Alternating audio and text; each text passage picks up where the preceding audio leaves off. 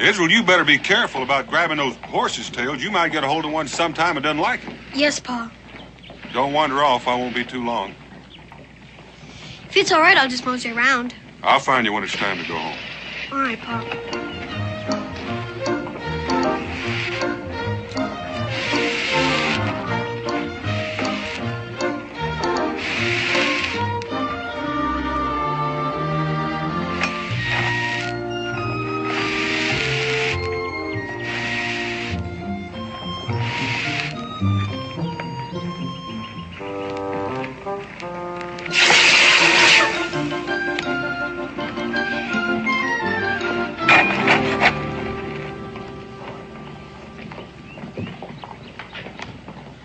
Pinwheel!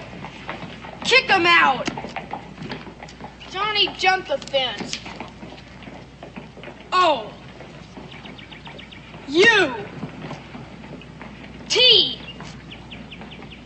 Period! That's pretty good mumbly peg. My mother had some pie to do at Cincinnatus' store. She made me come with her.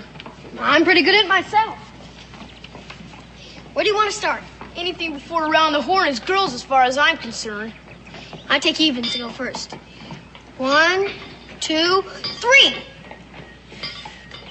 All right, you go first. Around the horn. Shave the peg. Cut right. And left. Ah, you missed. Oh, I get mad thinking I gotta wait for her until she's done. Around the horn. Everybody's family squabbles sometimes. Not over their own kid. It makes you feel like it's your fault.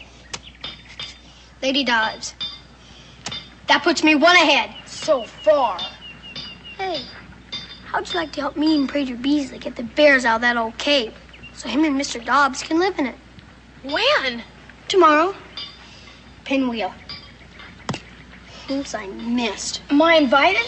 In particular, I promised to tell you. Sure, I'd like to help.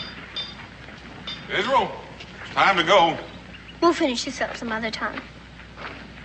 Oh, Mr. Boone. Me and Israel are gonna help Prater Beasley get set of the wild bears. No? Do your folks know about it? Papa just said he'd make a man of me. Better ask anyway. He's gonna take me with him far out in the forest, and that shows how he'd feel. Well, make sure your mother knows. Come on, son. If I know Pa, he's already greased his skids. You told her? I'll come by your house in the morning. Make it good and early.